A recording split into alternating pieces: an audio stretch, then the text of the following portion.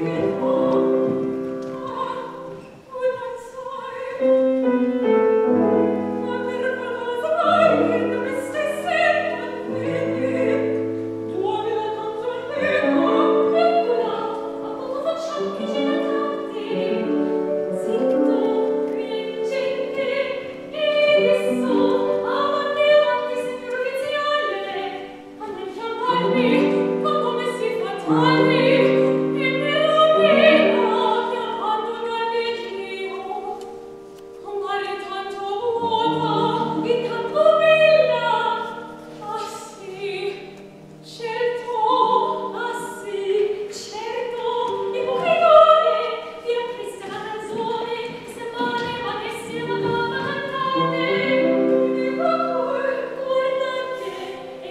Thank